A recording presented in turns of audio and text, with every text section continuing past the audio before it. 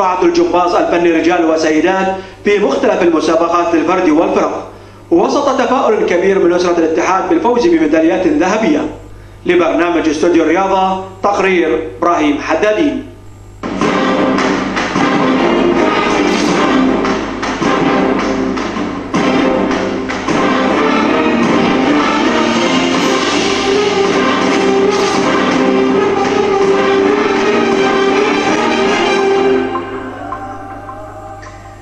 مشاهدينا شاهدنا مراسم هذه القرعة من خلال تقرير زميلنا إبراهيم حدادين. قرعة متوازنة لبعض المنتخبات قرعة متوازنة أو غير متوازنة للبعض الآخر.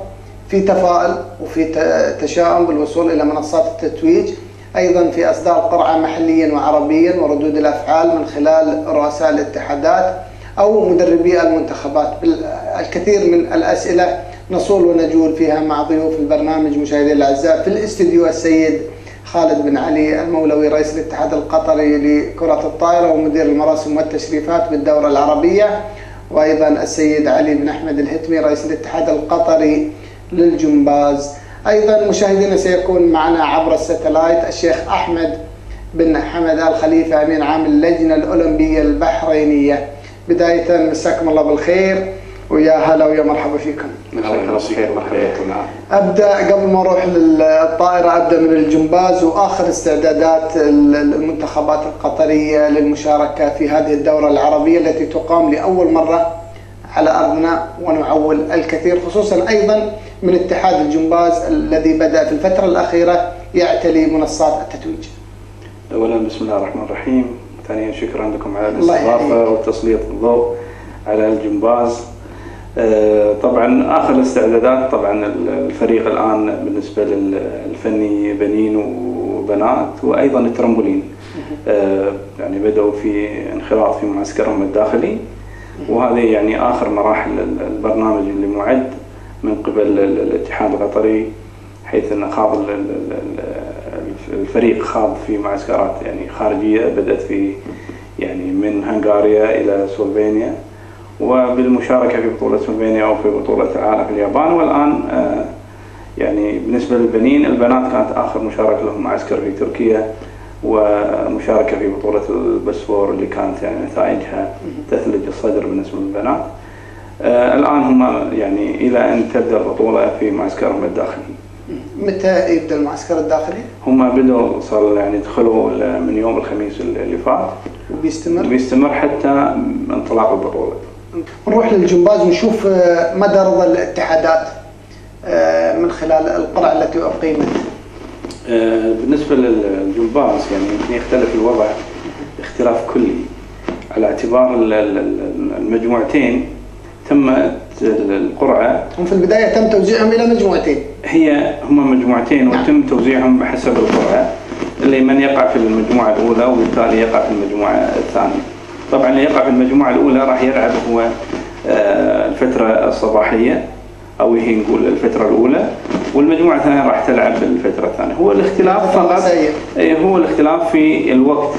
يعني ممكن يلعب الفترة الصباحية يكون يعني عليه ضغط أكثر أو الثاني يكون أكثر. لكن هذا يعتمد أيضا كله على برامج الموضوع آه، من قبل يعني على الاستعدادات اللي توضع من قبل الاتحادات وتهيئة اللاعب. المجموعات هاي قسمت على مجموعتين طبعا ما راح يصعد فريق أو فريق نعم. لا ولكن آه، بالنسبة للجمباز راح يعني من خلال التصفيات المجموعة الأولى والثانية راح يطلع بطل الفرق من خلال اليوم الأول للبطولة على اعتبار من يجمع أكثر آه، عدد نقاط بالنسبة للعيبة المشاركين راح هو يتوج بالذهب وبالتالي الثاني والثالث يجيب عدد. إحنا في مجموعة الفترة الصباحية ولا المسائية؟ إحنا بالنسبة للمجموعات إحنا نقع في المجموعة الثانية اللي معنا مصر واليمن وسوريا وأيضا المجموعة المختلطة لأن هذول المختلطة لبنان وليبيا والمغرب هذول اللي مشاركين بالفردي فحطوهم في مجموعة واحدة على أساس إنه يلعبون مع بعض في نفس على نفس الجهاز وبالتالي نعم. آه، الجزائر ومصر أيضا هذه مجموعتنا. نرجع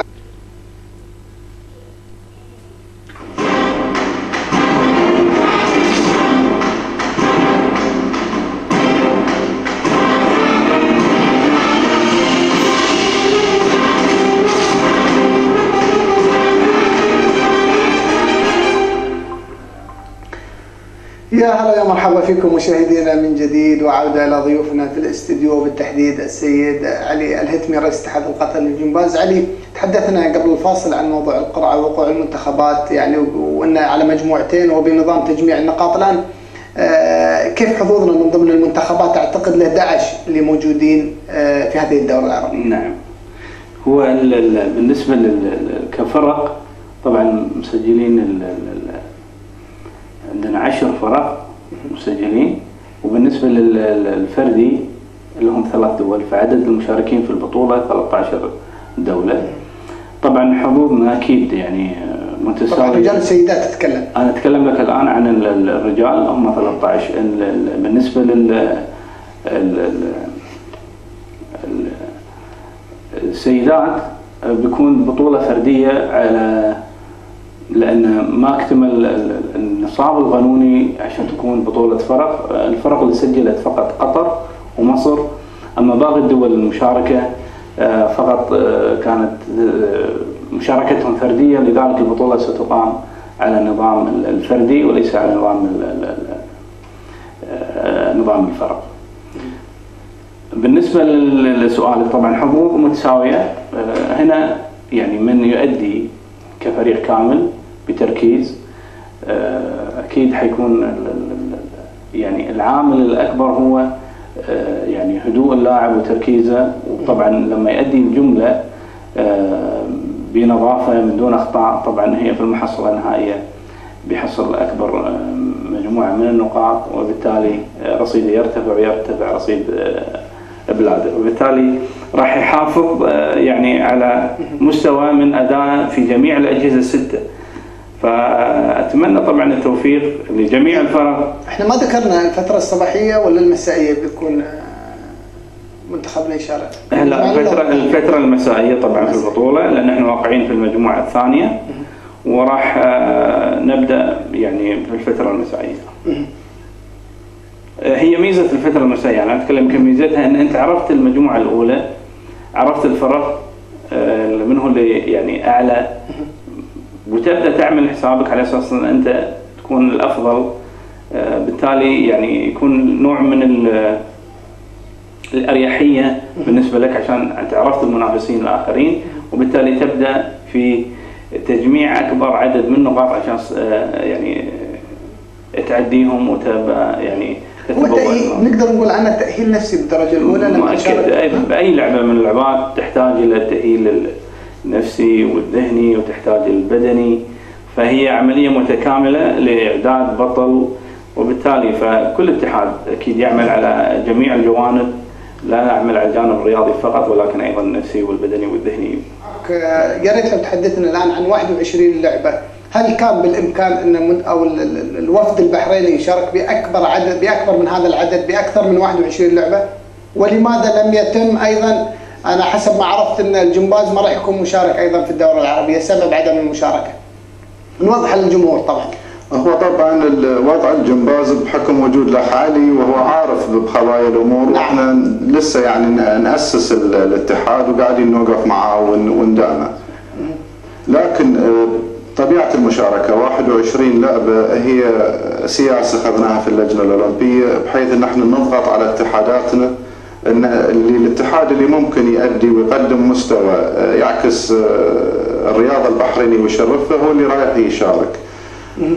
أما البقية اللي بغير مشاركة فإحنا نعمل معاهم وفق خطط إن شاء الله في النسخ القادمة من الدورة العربية نحاول إن نوصلهم لهذا المستوى. طيب تعليق آه، علي الهدفي نعم شيخ الله يمسيك بالخير. اولا وبس للتوضيح يعني الاتحاد البحريني يمكن الجمباز من عدم مشاركته في هذه البطولة. طبعا الاتحاد البحريني من الاتحادات الجديدة والوليدة والحديثة أيضا لذلك انضمامنا اولا للاتحاد الدولي والاعتراف به حيكون تصويت عليه الاعتراف بالاتحاد البحريني. للجمباز حيكون في المكسيك في الاجتماع القادم للاتحاد الدولي. والآن بالنسبة للمكتب التنفيذي تم الاعتراف بالاتحاد البحريني. يتم تسميته عضو في الاتحاد الدولي في الاجتماع القادم. فلذلك يتم طبعا كل الاتحادات المنظمة آه، تحت آه، مظلة الاتحاد الدولي لها الحق المشاركة في البطولة العربية على اعتبار إن الاتحاد الدولي هو يشرف على هذه اللعبه من خلال الاعتراف الدولي للاتحاد الدولي بهذه بهذه الالعاب وتسجل آه، من ضمن رعاية الاتحاد الدولي. ولذلك يعني في مثلا السودان أيضا آه، كانوا ما يحق لهم التسجيل مع إن عندهم فرق ويشاركون في البطولات العربية لكن لأن البطولة تحت مظلة الاتحاد الدولي لذلك يشترط هو الانضمام للاتحاد الدولي اولا ثم المشاركة في هذه البطولة. طيب أنت تكلمت الآن عن الجمباز بشكل مفصل آه، قبل شوي لكن لو نتحدث عن كم لاعب بيشارك اتحاد الجمباز نعلم تماما إن الاتحاد الجمباز يعول على أربع أو خمس لاعبين هو الفريق نعم. بالنسبة للفريق أربع أو خمس لاعبين بالكثير على آه، إحراز الميداليات خلينا نقول سواء رجال أو سيدات ولكن آه، وهذا يحسب لكم بكل تأكيد خصوصا إنها لعبة فردية وتلاقون منافسة من قبل الاتحادات الأخرى في استقطاب العديد من المواهب الرياضية ولكن آه، هل في أجيال قادمة؟ هل في عمر أيضا زمني لهؤلاء اللاعبين يعني نقدر نقول سنتين ثلاث وخلاص على الدنيا السلام اتحاد الجمباز. ولا في أجيال قادمة في عمر طويل للاعب الجمباز ممكن يعمر؟ هو اللاعب الجمباز آه، متى ما امتهن اللعبة آه، يقدر يؤدي وفي يعني أمثلة كثيرة موجودة. تلاقي اللاعب يصل إلى 40 سنة ويتخصص يصبح يلعب في جهاز محدد يعني فلذلك يعمر في هذا الجهاز. يعني نشوف لاعب يلعب على حصان قفز أو الحلق أو العقلة وهكذا فالتخصص هو يعطي العمر نقدر نقول. هو يعني 30 هو متوسط العمر. لكن في طبعا قلت لك يعني اللعيبة اللي تتميز في جهاز ويتم يمتهن هذا يعني اللعبة كمهنة ويسترزق. اي يوصل. يعني في يعني آخر بطولة في, في اليابان اللاعبه الألمانية من أصول أوزبكية. يعني هاي ما شاء الله يعني 38 سنة. وتلعب يعني عندها تلعب حصان القلب. عندها عيال حسب ما عندها. ما ما وصلت لها. عندها عيال أكيد متزوجه عندها عيال لكن إحنا ما حضرنا عرسها. أنا أنا أقصد من هذا الموضوع إنه مم يعني الزواج مش ممكن يأثر في النهاية. ما هو اللاعب اللاعب اللاعب طالما يعطي التمرين حقه فيقدر يستمر. وعطاء يزيد كثر ما اعطى وركز في تمرينه. ما في عائق للاعب الجمباز انه يستمر إلى ما بعد الثلاثين. إذا آه، يعني آه، أصبح الحافز عنده والدافع خلينا نقول احترف هذه اللعبة. هو أنا أقول لك امتهانا للعبه هو احترافه بالمعنى الصحيح لهذه اللعبة ويعني يصبح له مصدر آه، علي بالمشاركة النسائية نربط ما بين المشاركة النسائية في هذا الموضوع وأنتم أكيد لكم في اتحاد الجمباز. خلينا نقول ليس بطويل ولكن إنجازات كبيرة في هذا الموضوع. أتمنى إن شاء الله فعلا أن تكون إنجازات يعني الفني بنات. خصوصا يعني إن الفرق يعني إحنا البطولة كنا نتمنى تكون فرقية. إن هذه البطولة لأن كنا يعني من الاتحادات اللي استعدت بالنسبة للفني السيدات استعداد جيد. لكن البطولة ما يعني أصبحت فردية على اعتبار إن العدد اللي يسمح لإقامة البطولة بالبطوله فرغيه ما تم ولذلك تحولت البطولة إلى فردية. لكن إحنا نعول على يعني اللاعبات اللي راح يشاركون ضيوفنا في الاستديو علي بس الآن كم ميدالية ممكن تعولون عليها من خلال الدولة العربية للأمانة؟ طبعا إذا تسألني عن ال يعني يعني من خلال المستويات لا لا المستويات أنت يعني يعني أنت مثل ما أنت مستعد أيضا الدول الثانية مستعدة. بالتأكيد. مثل ما أنت عندك أبطال ترى أيضا الفرق الثانية والدول الثانية عندهم أبطال وعلى مستوى مش عربي مع المستوى عالمي. و الدبلوماسية يعني نقدر نقول كم ميدالية؟ أنت يعني أنت مصمم أنا مصر على الحد الأدنى خلينا نقول الحد الأدنى يعني أنا هدف الاتحاد خليني أقول لك هدفكم يعني الشخصي الآن.